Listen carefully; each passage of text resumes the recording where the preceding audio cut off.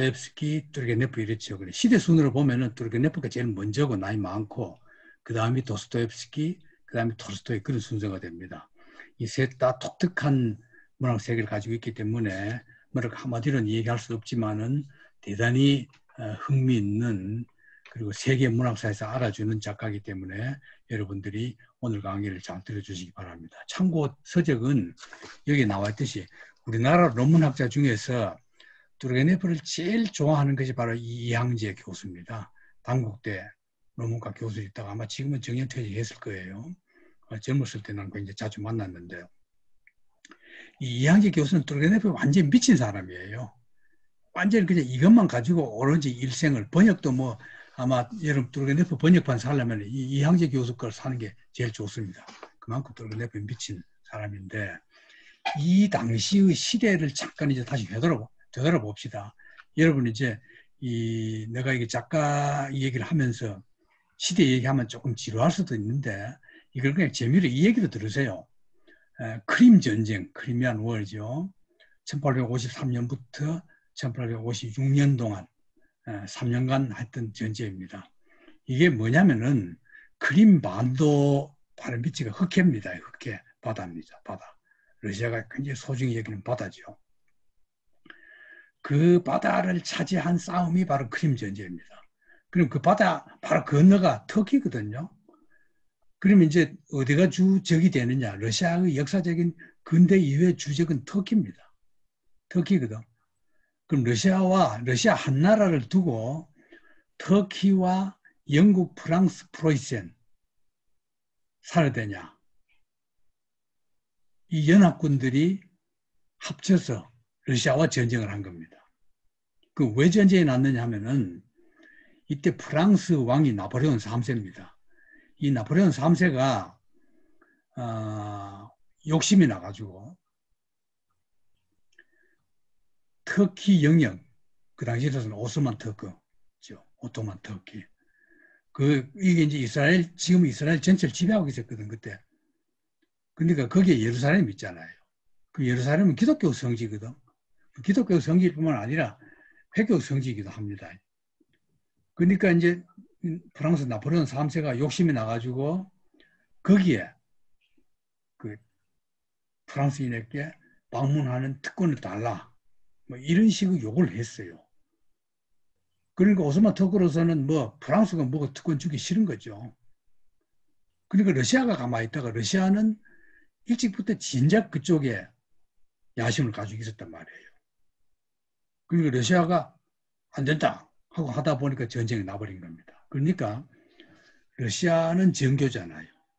정교 아닌 유럽 전체와 특히 유럽은 반러시아 감정이 오래부터 쭉 쌓여왔거든요. 지금이 뭐 지금만 그런 게 아니라 옛날부터 그냥 러시아 하면 유럽에서는 다 무서운 나라로 힘을 키워주면 안 된다. 이런 게 머릿속에 배어 있어요. 유럽 사람들은. 종교도 그래서 종교 특이한 종교고. 그래서 그 유럽 사람들 머릿속에는 러시아 하면 그냥 유럽으로 넣어주기 싫은 거예요. 문화도 독특하고.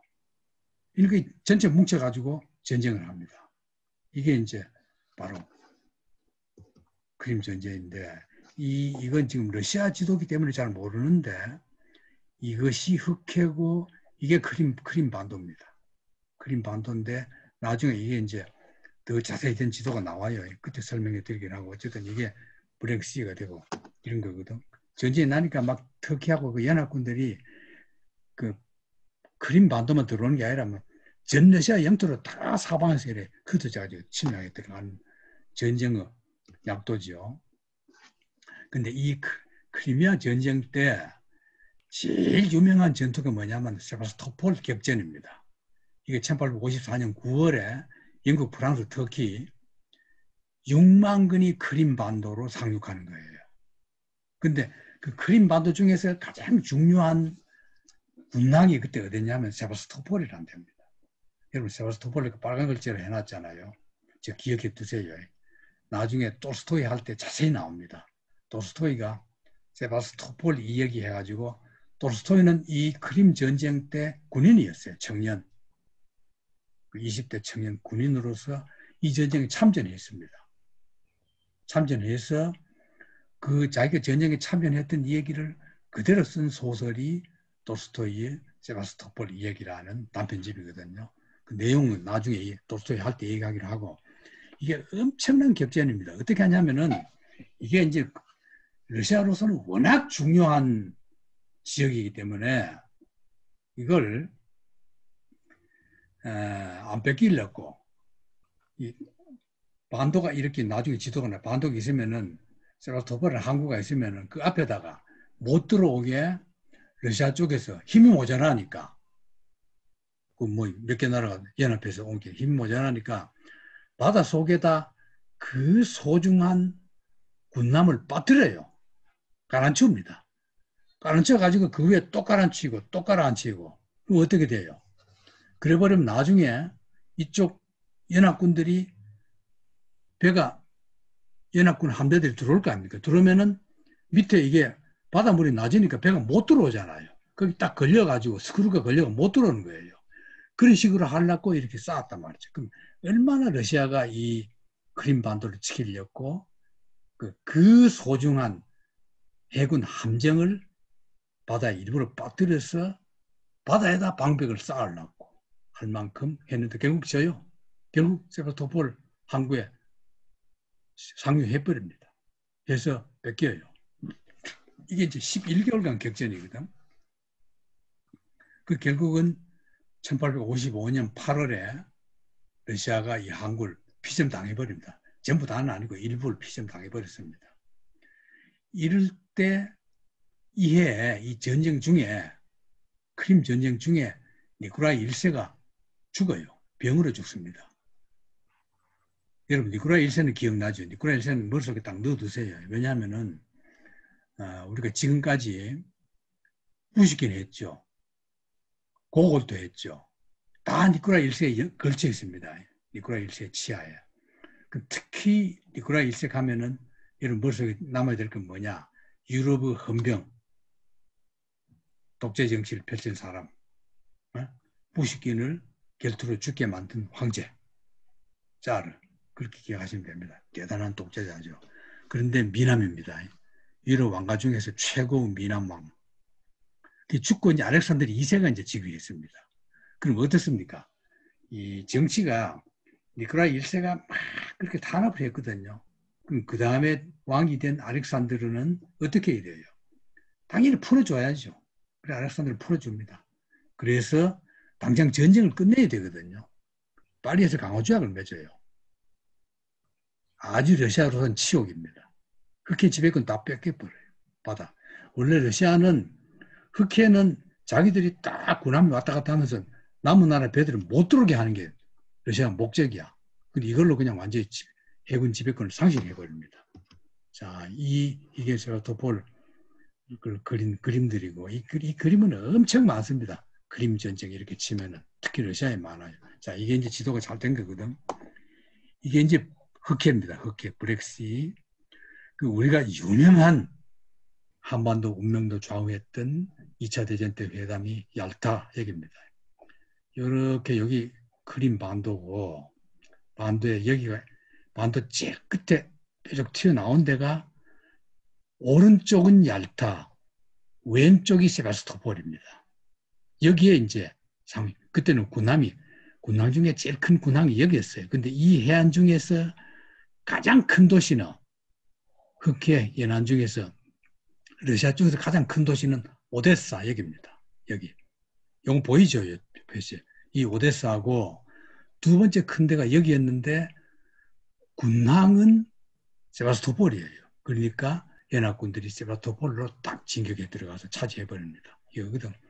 자, 여러분 러시아 지도 한번 보십시오. 브렉시 흑해. 흑해로 들어오는 강이 뭐라 그랬어요? 드네프르 강, 드네프르 강, 드네프르입니다. 드네프르 강. 그 요, 이게 우크라이나에 속합니다. 지금 우크라이나. 소러시아라는 데, 우크라이나. 드네프르 강이죠. 여기 보면 아조프 해죠. Sea of Azov. 아조프에 들어오는 강이 뭐 같아요? 돈강. 돈강. 그럼 이쪽 유럽 쪽으로 드네프르 강이 흐르고 우크라이나 이쪽이다. 드네프르 강입니다. 키예프 이쪽이 다 드네프르 강입니다. 이쪽은 돈강. 돈강이 뭐가 유명해요? 코자크족들. 돈 코자크. 그거죠. 돈. 그 이쪽에 또 이게 아조프 해고 이쪽에 또 바다 하나 있어요. 러시아가. 그럼 무슨 해입니까? 카스피 해. 카스피 해로는 볼가강. 유명한 볼가강. 이쪽. 그 러시아가 바다 남쪽에 세 개. 흑해, 아조프해, 카스피해. 강도 세 개 각각. 그게 유럽의 3대 강. 이게 세바스토폴입니다. 저렇게 톡 튀어나오는 항구거든. 그러니까 그냥 이렇게 싸버리면 못 들어온단 말이죠. 싸버리면. 근데 그게 결국 무너져가지고 도시 뺏기게 된 거죠. 세바스토폴. 이게 기념탑입니다. Sunken ships, sunken ships죠. 가라앉은 배들. 세바스토폴 점령 기간 동안에 배들 일부러 가라앉혔던 것을 기념해서 만든 탑 그런 뜻입니다. 이거는 군인들과 해병들, 셀 해병들 이것도 이제 세바스토폴 기념탑이죠. 이거 전부 다 세바스토폴이 지금 만들어진 겁니다. 자, 이럴 때인데 여러분이 그, 얄, 그 크림 전쟁 하면은 여러분 머릿속에는 반드시 이 여자를 떠올려야 됩니다.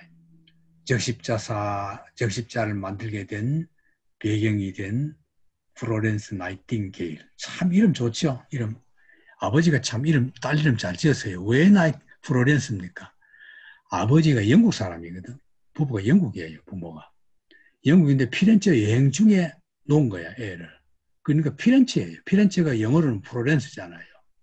거기다가 큰 멋진 울음이 아름답다는 새 이름 딱 갖다 보니 나이팅게일. 그러니까 얼마나 의욕이 좋아요. 이 여자는 이름 자체가 시인이 돼야 되는데 간호사가 됐어요. 나이팅게일.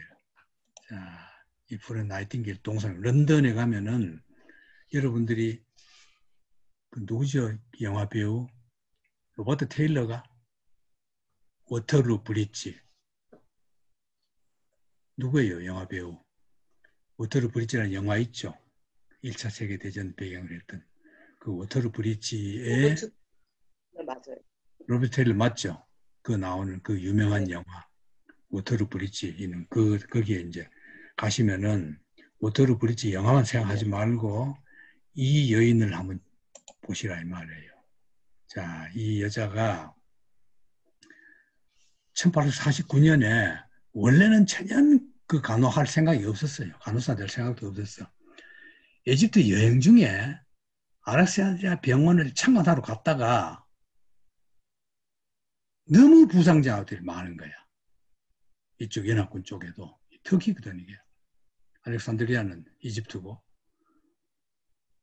그러니까 뭐, 아, 내가 간호사 공부를 해야 되겠다. 그래서 간호사를 수업합니다. 그리고 런던 승려 병원 간호부장 하다가 크림 전쟁 나가지고 38명을 성공해, 38명 성공의 수녀들, 영국이 지 성공이잖아.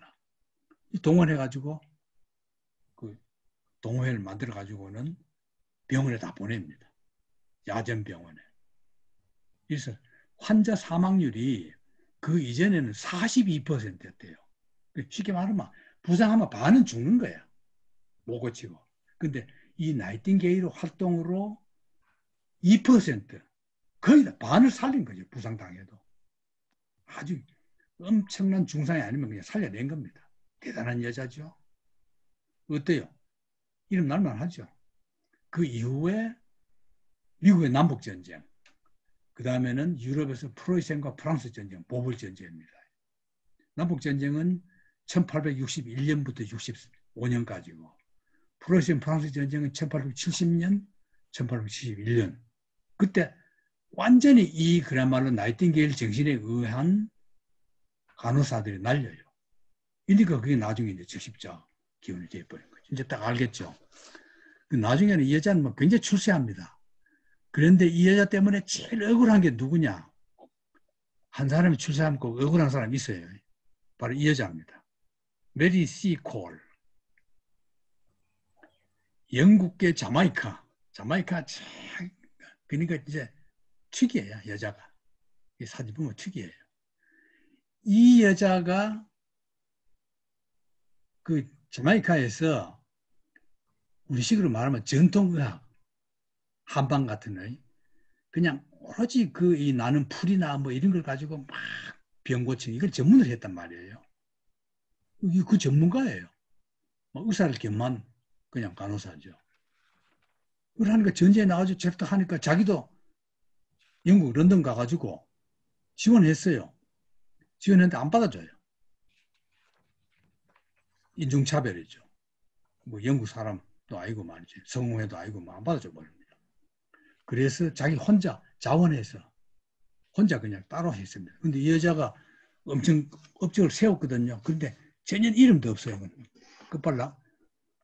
나이팅게일은 국제적인 여자가 되어버리고 이 여자는 그냥 이름도 없는 여인으로 남아버린 거죠. 참 안 됐죠.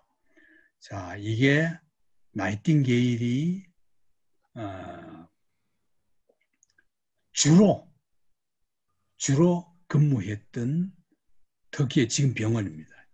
여기 보면은 나이팅게일이 Military Hospital at Scutari 스쿠탈리라는 게 있죠. 스쿠탈리 스쿠탈리는 그 그리스 이름으로 이 도시 이름이 스쿠달리고 이쪽 이름을 하지 우스쿠다리 우스쿠다리라는 데예요.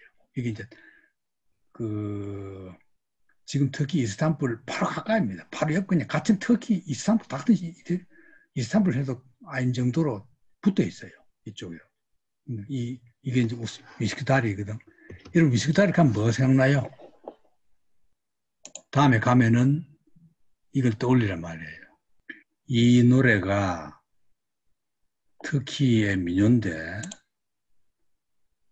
우리나라에 엄청 유행했습니다. 여러분 아마 내 나이 정도 되는 사람은 다 알아요. 우리, 우리 고등학교 때 50년대에 이 노래가 들어왔거든. 50년대 후반기 우리나라 들어와가지고 그냥 지방의 촌놈인 나까지도 이걸 콧노래로 흥얼거릴 정도였고 대학까지 뭐 한참 동안 이게 대유행이었습니다. 근데 이 노래를 여러분 나중에 터키 여행 가면은 나이팅게일이 근무했던 그 우스크다리 그 병원 그 병원 지금 그대로 있대요. 나도 못 가봤는데 그런데도 보고 버스 안에서 이런 노래를 들으면서 특히 여행을 하면은 훨씬 풍요로운 여행이 되죠. 어쨌거나 이 바로 어, 그, 그 유명한 크림 전쟁 이것이 흑해를 둘러싼 전쟁이었고 그 전쟁으로 러시아는 흑해를 완전히 뺏겨버렸다.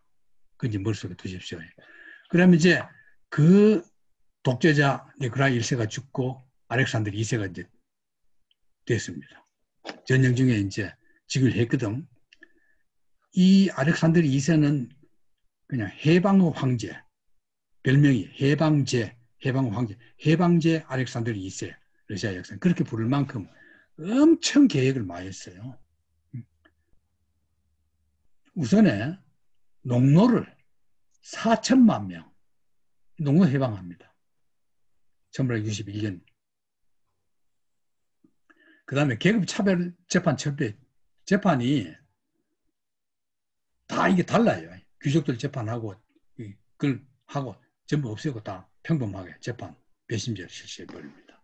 그뿐이 아니고 어, 이 알렉산더 2세 가면 여러분들이 우리나라하고도 굉장히 관계가 깊어요. 1860년에 제2차 아편전쟁, 제2차 아편전쟁, 아편전쟁 하면 여러분 머릿속에 뭐가 떠오릅니까? 영국, 중국이죠. 하, 이게 여러분들이 아편전쟁 하나만 열심히 공부하면은 절대 유럽 사람들을 마음 깊이 심장적으로 사랑할 수 없어요. 영국인들이 중국에다가 아편을 팔았단 말이에요. 합법적으로 그냥 공연하게 팔았어요. 중국에서는 금지죠. 그 중국 관리들이 그 관리를 단속을 못해요. 왜? 가서 그냥 뭐 하면 그냥 관리들한테 덤벼가지고 쏴 죽여 버리니까. 영국 사람들이. 완전 그냥. 아니, 그걸 어떻게, 어떻게 인간에게 아무리 남은 나라, 야만의 나라라도 아편을 합법적으로 그래. 아예 무역을 하잖아요. 그러니까 임식서가 그냥 딱 그 아편 모아가지고 불 질러 버리고, 응? 별을 깔아앉히고 해가지고, 그 1차 아편 전쟁, 1차 아편 전쟁에 이제 중국이 완전히 패배했잖아요. 2차 아편 전쟁 떠납니다. 50년대 후반기에 떠나요. 1차는 1841년, 2년 그때 났고, 42년에 이제 패배해가지고 1차로는 이제 영국이 완성을 거둔 거죠. 그래서 이제 모든 도시나 항구 이런 걸 막 열고 한 거 아닙니까? 홍콩도 그때 생긴 거고. 그래 했는데 그 뒤에 이제 또 영국이 더 중국을 많이 차지하기 위해서 조작해가지고 중국이 잘못도 아닌데 어? 자기 나라 배도 아니야. 중국 국적 배를 중국 관리들이 취재한다고 거기에 영국인 그 근무적 근무한 사람이 영국인이야. 그걸 핑계대고 올랑 전쟁 일으킨 게 아펜 전쟁이거든. 이게 집니다. 영국이 져요. 진 뒤에 거의 모든 땅을 다 차지하고 중국 땅을 이제 뭐 어떻게 여러 많이 차지하고 그러던 게 2차 아펜 전쟁이거든. 이때 러시아와 러시아가 영국 편을 들어요. 또 중국 먹는 데서는 또 둘이 합편이야. 어. 들어서 베이징 조약을 맺거든. 이때 베이징 조약에서 이제 러시아가 뭘 넣느냐 하면 이 바로 알렉산드르 2세가 뭘 넣느냐 하면은 연해주 있습니다. 그러니까 지금 여러분들이 국경 보면 우리나라 북경 국경의 함경북도 보면은 러시아 쪽이 살짝 개미 뒷다리 개미 허리만큼 살짝 걸치고 있고 그다음 중국 땅이잖아요. 그럼 이제 우리나라가 중국 국경과 러시아 국경 두 나라 맞대고 있거든 그 함경북도가.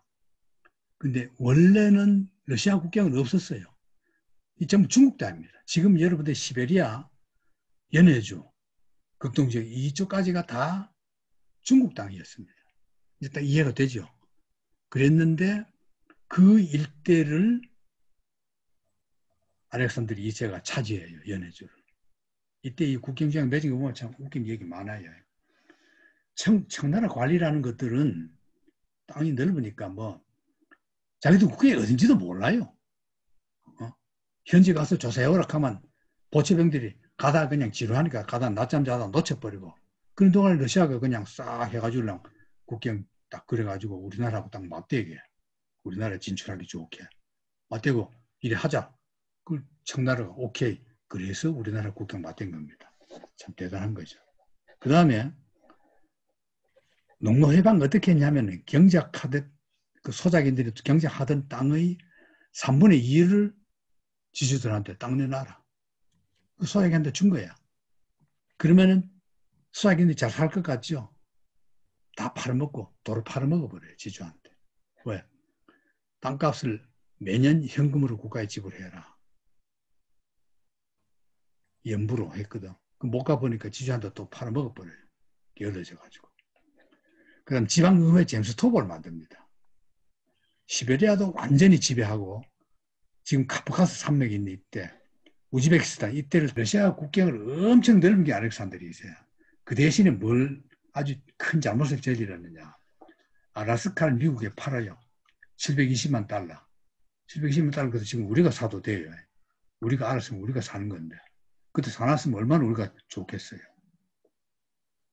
그 이때인데 1870년대부터 러시아에서 나로드니키 운동이 확산됩니다. 엄청 확산돼요. 나로드니키 뭡니까? 인민들 속으로 분 나로드입니다. 분은 어, 영어를 하자면 into, into the people 그런 뜻이에요. 나로드, 나로드는 people. 러시아 말에는 그냥 people 개념 people이 사람이 아니라 인민이라는 개념이에요. 함께 갑니다. 이, 이걸 이제 720만 불에. 어때요? 여러분도 사고 싶은 생각 나죠? 그러다가 이 알렉산드르 2세가 암살당해요. 나로드니키, 혁명당원들이거든.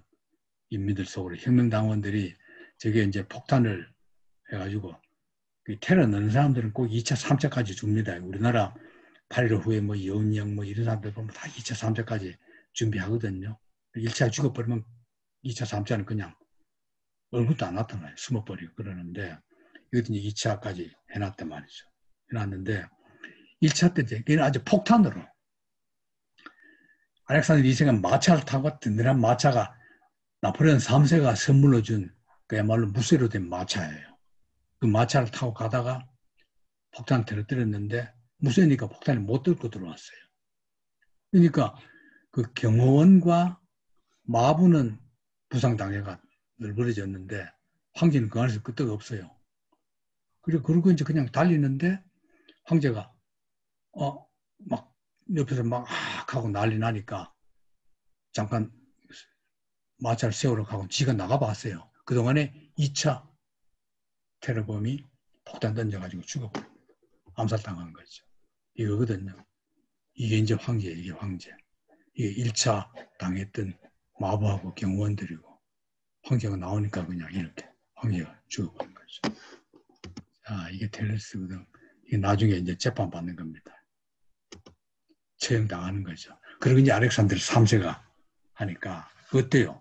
자기 아버지가 암살 당했으니까 다시 철권 통치로 돌아갑니다. 경찰 철권 통치.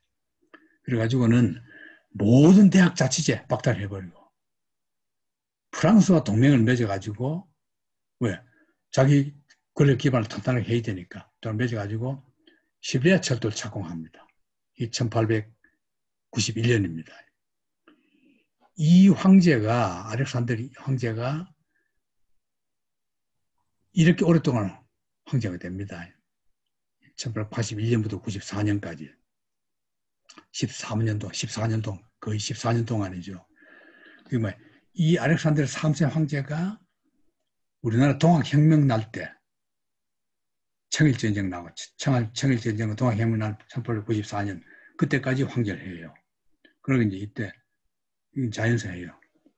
청일전쟁 중에 죽거든. 아, 가장 보수적인 황제. 이런 시대를 배경으로 해서 이런 시대를 머릿속에 두십시오. 두면은 요까지가 이제 두레네포 일성이 되는데 자 두레네포에 들어갑니다. 대지주의 둘째 아들이에요.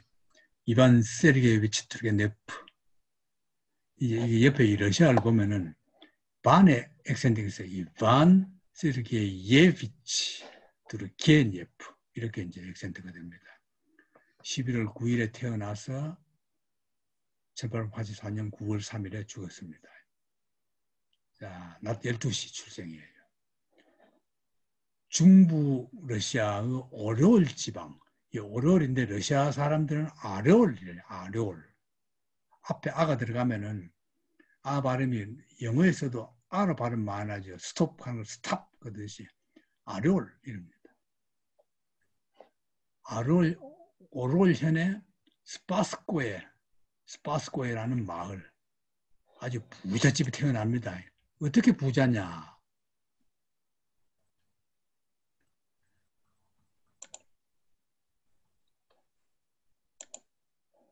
아버지가 기병대 대령 출신입니다. 아버지가 어, 뭐, 뭐, 잘 살긴 잘 살았지만 엄청난 부자는 아니었어요.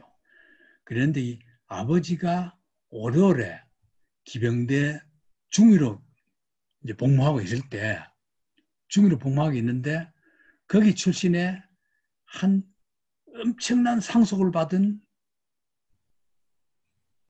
고아 여자애가 하나 있었어요. 그게 바로 뚜레네브 어머니야. 그리고 이제 이 할아버지가 보니까 그하고 그를 자기 아들 장가 보내면 부자가 되겠거든요. 그 이제 아버지가 잘생겼어. 근데 프로포즈해. 근데 어머니가 세 살 많아요, 그 처녀가. 세 살 많으니까 안 갈라 그래, 아버지가. 장가를 안 갈라 그래요. 안 갈는데 그냥 아버지가 막 할아버지가 밀어가지고 장가 가도록 만들어버린 겁니다. 그게 이제 둘레네프 부부거든. 그 나중에는 대령까지 올라가서 이제 예편에서 이제 부자로 잘 살다 죽은 거죠. 그 어머니는 어떤 여자냐? 이 여자가 문제의 여자예요. 이 여자는 엄청난 부잣집의 상속녀예요. 왜 그래 됐느냐? 유복녀예요. 아버지가 태어나기 두 달 전에 아버지가 죽어버렸어요. 어머니 혼자잖아요. 어머니 혼자니까 애가 낳자마자 바로 제가 했어요. 개부 밑에서 크는 거야. 개부 밑에서 크니까 애가 불편하거든. 그러니까 열 몇 살 땐가 가출해버려요. 가출해서 혼자 살고 있는 삼촌 집에 간 거야. 그 삼촌이 어마어마한 대지주 부자예요. 삼촌은 애도 없어 혼자예요. 혼자 살게 거든. 그래서 별로 사랑을 받지 못하고 지내다가 삼촌이 죽어버려요. 죽으니까 삼촌의 모든 재산까지 합쳐서 이 여자가 다 받은 거예요. 그러면 자 지금까지 내가 얘기한 중에 보면 어때요? 그렇게 자랐기 때문에 사랑을 못 받고 자랐기 때문에 괴팍한 데다가 성질 더러운 데다가 뭐 그냥 또 돈 많게 계속 이렇게 돈은 계속 있었거든. 사랑을 못 받았지만은 부모 사랑을 못 받았지만은 그러니까 그냥 그 아래 끝들 뭐 이 그 지주들 지주니까 뭐그 머슴들 뭐 하인들이 그냥 사람을 보지도 않고 그냥 성장구하는 그런 성질 더러운 여자예요. 이게 둘의 어머니입니다. 이게 이제 시집을 가니까 남편이 볼 때도 불만. 전혀 마음에 안 들어. 남편은 그냥 바람둥이야. 남편은 그냥 그 타고난 바람둥이에요. 이 앞에 보면 아버지 얘기 나오죠. 안 나왔나? 아버지 얘기 나올 텐데 타고난 남 아버지가 타고난 바람둥이에요. 아주 크로니클 타고난 바람둥이에요 남편이. 그러니까 장가 가서도 계속 바람 피우고 이래요. 예, 그러는데 어머니는 어머니대로 또 막 화가 나가지고 나중에 그 톨스토이 톨스토이 전기에 보면은 에, 톨스토이 장인 영감이 공중 의사였거든요. 베르스라는 의사인데 그 의사하고 그 시간으로 톨스토이 장인 영감 될 그 남자와 나이는 톨스토이 훨씬 더 후니까 그 남자와 뚜르게네프 어머니 사이에도 썸씽이 있었다고 할 정도로 아주 여자가 별로 성질도 안 좋고 평도 안 좋고 그러니까 뚜르게네프하고는 사이가 별로 안 좋아요.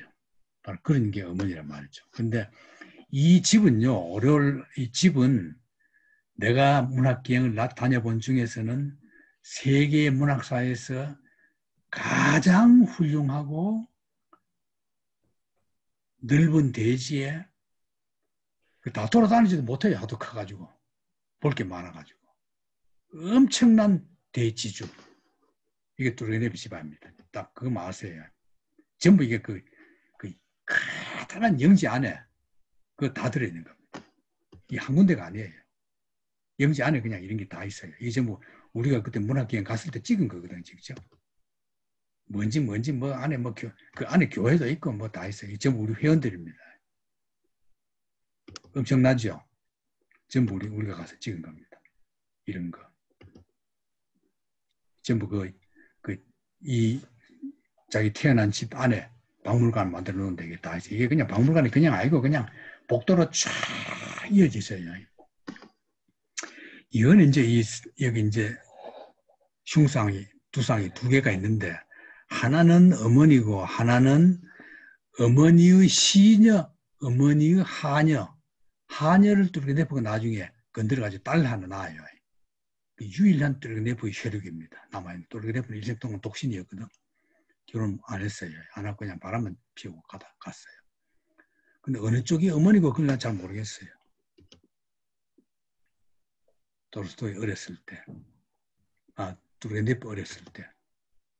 뚜르겐네프 동상. 자, 어쨌거나 이런 뚜르겐네프인데 집이 부자니까 뭐 학교 다니다가 어, 대학 갈 때는 15살에 모스크바를 이사를 15살 때 1827년에 모스크바를 이사를 가요.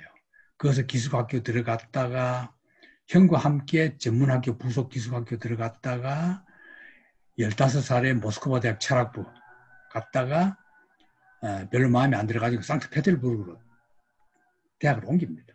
그, 그 졸업해요. 졸업 박사학위도 상트페테르부르크에서 박사학위를 받습니다. 나중에 이 사람 꿈은 뭐냐면은 철학과 교수가 되는 게였어요. 근데 그 교수가 못 돼요. 못 되고 난 뒤에 이제 소, 작, 작가로 돌아서 버린 거죠. 이럴 때 아버지가 죽어요.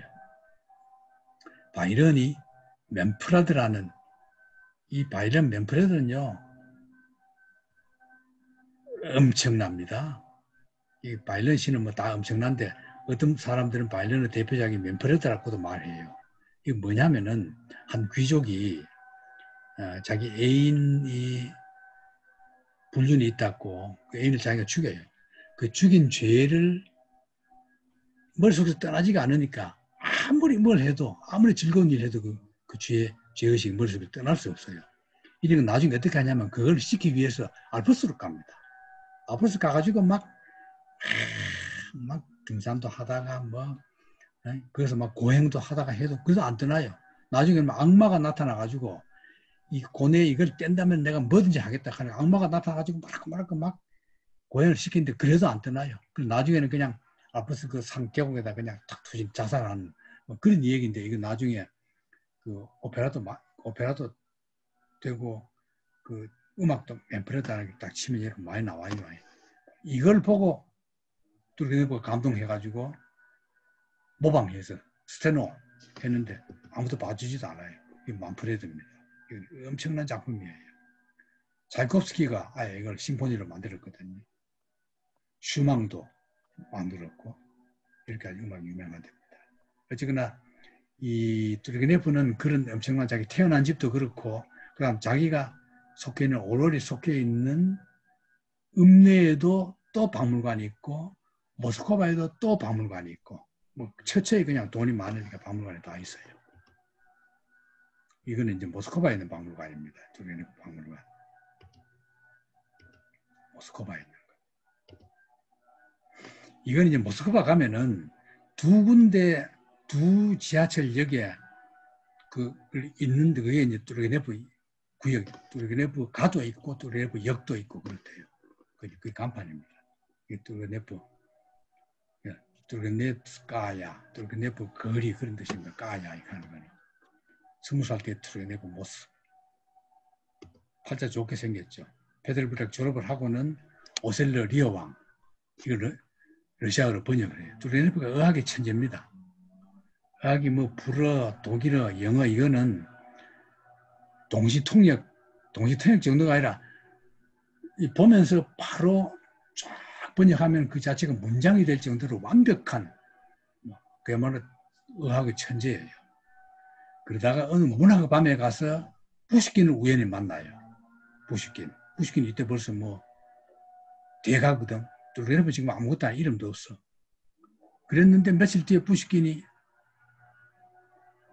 결투 해가지고 위중하다. 이 얘기 듣고는 찾아가가지고 부시킨 집에 하인을 매수해가지고 머리털을 좀 잘라달라.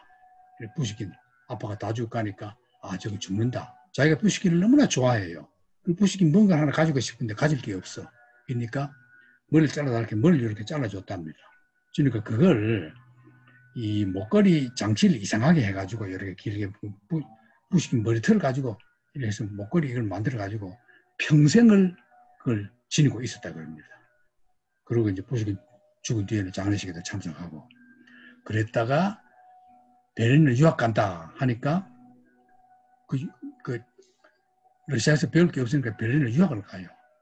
이때 스탄케 비치라는 이거 뭐 여러분 이름 안 외워도 되는데 이 당시 러시아 분위기를 알려면은 지식인들이 이 스탄케비치입니다. 스탄케비치는 아, 이거 보십시오. Considerably influenced 벨린스키, 벨린스키 영향을 받았죠. 그 다음에 중간에 건 빼고 바쿠닌, 헤르첸 이런 사람의 영향력이 굉장히 많았다 그런 뜻입니다. 그 이때 러시아는 이제 지식인들 서클 운동이 유행이었거든요. 지적인 서클 운동이. 엄청난 영향을 끼친 사람입니다. 스타키피치가. 자, 이제 독일의 유학 중에 자기 고향의 집에 화재가 불이 났다 하니까 돌아와요. 돌아와서 고향에 잠깐 머무릅니다. 이때 저녁에 레르먼토프를 만나요. 레르먼토프 때 유명한 시인입니다. 이 레르먼토프거든. 이 사람은 경력은 또 특이합니다.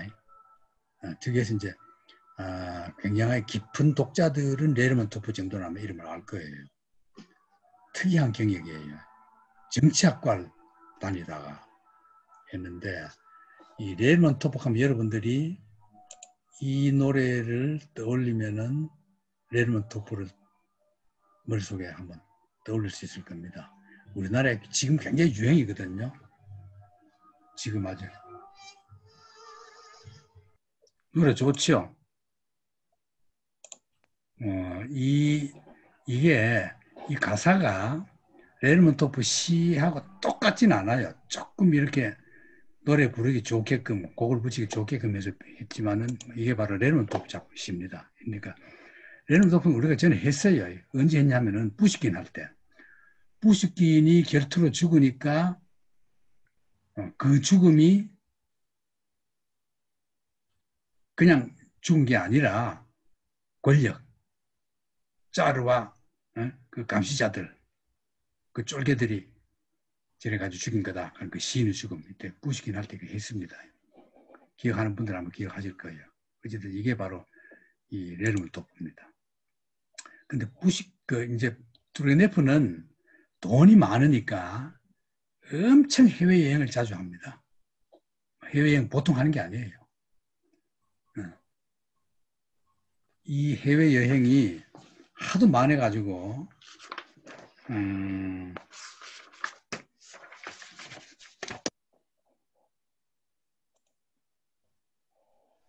그 잠깐 이제 해외여행 하는 걸 잠깐만 살펴보고 들어갑시다. 이태리라고 하거든요. 이태리. 이태리 가서 이제 바쿠닌 만나요. 바쿠닌 이미 러시아에서 알고 있죠. 아, 아, 만났거든. 근데 바쿠닌은 아나키즘 뭐 선구자. 그동안에 우리 여러 번 했어요. 하이네 할 때도 했고, 뭐 바쿠닌 많이 나옵니다. 특히 바그너 할 때 많이 했습니다. 이, 이 바쿠닌은 위대한 혁명가인데도 불구하고 엄청난 부자입니다. 엄청난 부자. 1200명 농노 가진 귀족. 태어나가지고 베를린 대학에서 공부하다가 파리에 갔어. 파리에서는 마르크스, 프루동, 엥겔스 완전히 혁명가들하고 친구가 됩니다. 내가 1849년 드레스덴에서 폭동 때 바그너와 함께 폭동을 일으켜요. 실패합니다. 체포됐다가 상트페테르부르크 요새로 왜 러시아 사람이 그래 러시아로 보낼 거예요. 같이 있다가 탈출해서 런던 가서 다시 마르크스 만납니다. 이 바쿠닌 아주 유명합니다. 바쿠닌. 이거 이제 뚜르네브도 바쿠닌 일명 약간 좋아했어요. 뚜르네브도 성질이 약간 좀 그런 게 있었어요. 그러다가 이제 대학을 졸업한 뒤에 이제 귀국을 했거든. 10월에 바쿠닌 영지, 프레무히노라는 그땅 이름이 프레무히노, 프레무히노예요. 여러분 그냥 외워두세요. 프레무히노. 뭐 안 외워도 됩니다. 그랬을 때 자료 이걸 인용하면 돼요. 프리미노는. 외워도 있냐 하면은 여기서 바쿠니 여동생하고 사랑을 합니다. 굉장히 깊이 사랑해요. 정말로 결혼까지도 가고 싶을 정도로 사랑했어요. 두르게네프가. 그랬는데 그 못간 이유는 뭐냐면은 두르게네프는 그 이상하게 그 어머니의 영향인지 뭔지 모르게 여성들에게 잘 빠지면서도 그 이상하게 그 어떤 한 장박이 안 무너지는 그런 게기 때문에 좀 우유부단하고 뭐 이래가지고 이제 그 사랑이 결혼까지는 안 갔지만 어쨌거나 상당히 깊이 사랑했습니다. 그러다가 페테르부르크 대학에서 박사를 했고 그 이 어머니와 이그 뿌레무히노에서 가졌던 사랑 그 여자애가 딸을 낳아요.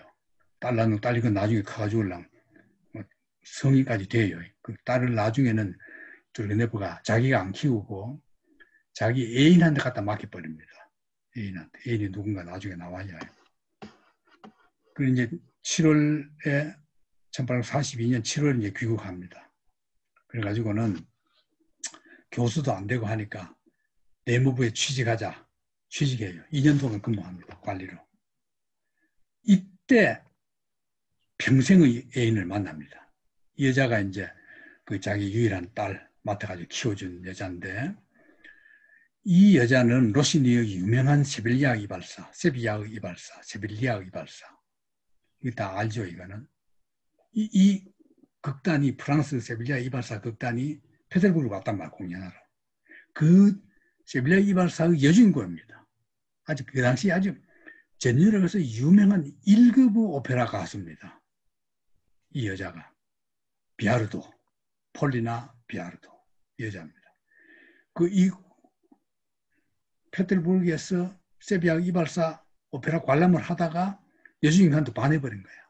그럼 우리는 그냥 아, 저 여자 참 좋다 이러고 많은데 이 뚜르게네프는 돈이 많으니까 꼬실 돈이 있잖아요. 어, 나도 돈 많으면 무슨 짓 했을지 몰라요. 돈이 없어서 그런지 못했지. 그러니까 그냥 꼬신 거야. 꼬시면 이제 이 오페라 가수들이나 예술가들은 돈에 약하거든. 아, 그러니까 상당히 가까워져요. 이 여자는 어떤 여자냐? 이 여자는 메조 소프라노로 스페인 계통의 프랑스 여자야. 활동 프랑스에서 하는 여자야. 어. 그런데 이 쇼팽이 이 여자를 인간의 목소리의 말로 가장 훌륭한 악기다. 어떤 악기도 이 여자 흉내 못 낸다. 피아노 스승은 리스트. 뚜르게네프가 요정 이야기, 마지막 마법사, 오페레타 이걸 일부러 여자 때문에 써가지고 줘가지고 올라 하기도 했어요. 근데 이 여자가 그 유명한 프랑스 바람둥이 작가 조르주 상드와는 동성애라는 설도 있고 양성애지요. 그래 쉽게 말하면 시집도 갔거든요. 파리의 이 비아르도 집에는 그 당시 프랑스를 움직이는 최고 음악가들, 구노. 뭐가 유명해요? 아베 마리아. 마스네. 마스네는 뭐가 유명해요? 타이스 명상곡, 포레, 생상스. 이런 뭐 그 작곡가들 그냥 이 여자 집에 그냥 불나듯이 드나드는 그런 집입니다. 그 남편은 있거든요. 남편이 나이 차이가 20몇 생각, 굉장히 나이가 많아요, 여자는. 나이 많은 남자한테 시집 가가지고 살면서 그냥 아주 분방하게 지내는 거죠. 그러니까 뚜르네프도 그만 이 여자 집에 가면 이 여자 집에 가는 거예요. 남편이 있어도. 뚜르네프는 남편이 죽은 뒤에는 아예 이 집에 살아요. 결혼식은 안 올렸는데 그냥 쉽게 말하면 그냥 평생의 애인이야. 자, 도스비키스 만납니다. 자, 봐요. 프랑스 가가지고는 이 가족하고 같이 프랑스 여행을 해요. 1848년 프랑스 뭡니까? 2월 혁명. 2월 혁명이잖아요. 그때 눈으로 다 봐. 파리에서 돌아왔거든. 어머니는 죽어요. 게르체는 아까 했죠. 그 유명한 혁명가. 이때 고골이 검찰관 낭독회를 해요. 자기도 그거 가서 참석에 들어. 이건 그때 이 낭독회 자체가 불순하거든. 그러다가 고골의 추도문으로 체포돼요. 죽은 뒤에. 한 달간 구속됐다가 스파스코에 자기 영지 있는 데죠. 출생했는데. 추방되가 1년 반 동안 연금당합니다. 이때 자기가 연금당해 있을 때 유명한 베른스키라는 평론가 나중에 자기가 하도 베른스키를 좋아해가지고 자기 묘지를 베른스키 옆에 묻힙니다. 유언으로 그 남겨요. 어머니도 그때 죽었거든. 그랬는데 어, 어머니 죽었을 때 못 갔다 그래요.